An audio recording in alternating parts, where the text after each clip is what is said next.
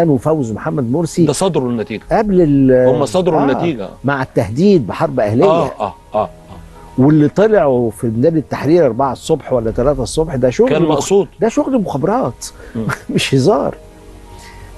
الحاجة الثانية يعني معنى ذلك أن المخابرات الأمريكية كانت ورا فوز مرسي ده وجهة نظري ما أنا بتكلم برضه آه أنا وجهة نظري السياسية ما يعني. أنا ما عنديش آه، معلومات أنا آه. بس بسألك. بس يعني وجهة. نظري السياسية مم. إن هي يعني وأنا هقول لك بقى هقول لك لقطة قول وأنت فسرها مش أنا. حكي مش آه. أنا حكيت لك في لقاء سابق إن الرئيس مبارك كان ناوي ياخد الخطوة. آه. و... ويعمل انتخابات رئاسية مبكرة. آه. أنا لما روحت البيت. أنت قلت لي إن جمال مبارك كلمك وأنت في العربية. وأنا رجعت تاني والرئيس أكد لي إنه هيخرج. لا استنى بقى. آه. رجعت. أيوه وقابلت عشان الرئيس عشان, عشان طاقة النور اللي كنت شايفها. رجعت والرئيس مبارك قابلك. أيوه قابلني ومعاه عمر سليمان وكان قاعد جمال وكان قاعد الدكتور زكريا. وقالوا لك؟ هو اللي قال ومحدش بيتكلم. هو اللي قال؟ هو اللي قال خلاص النهارده هطلع أقول الخطاب. وكان فيهم من معترض على هذه الله الخطوة؟ أعلم. أنا ما أخشش في نفوس الناس لا، محدش بيتكلم. لا أنا هتكلم عن معلومات وصلتني آه. ان الدكتور زكريا عزمي كان ضد هذا السيناريو. بس أنا اللي يهمني بقى أنا روحت البيت أول تليفون جالي جالي من مين؟ آه. سفيرة الولايات المتحدة الأمريكية. كان اسمها سكوبي. أيوه. بتصوت في التليفون. معايا؟ وتقول لي this is not going to happen. ده مش هيحصل.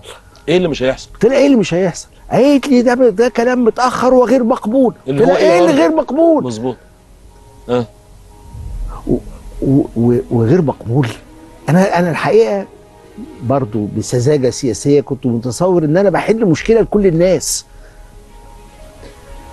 لدرجة من كتر؟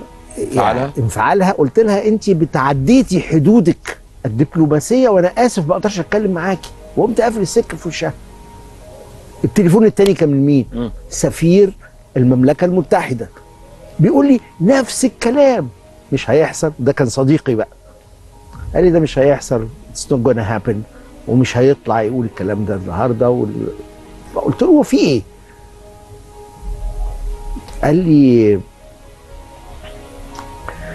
قال لي الدكتور بدراوي آه الكلام ده مش هيحصل. قلت له وانتوا عرفتوا إزاي الحوار اللي بيني وبينه؟ بينه وبينه هو آه. آه ده كنت أنا وهو. لوحدينا في القصر جوه. أنتوا بتراقبوه؟ فسكت. قلت له أصل ده مش معقول. لكن إزاي يعني عرفتوا الكلام ده؟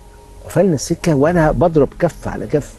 هما مالهم؟ السفيرين بتوع أقوى دولتين مش عايزين الراجل يطلع ياخد الإجراءات الصحيحة لنقل السلطة شرعيا وإجهاض كل الفوضى اللي حصلت بعديها لا طبعا المخابرات في رأيي ما عنديش دوكيومنتس ما. عنديش وثيقة لكن اللي أنا عشته ده بيقول إن كانوا كان الهدف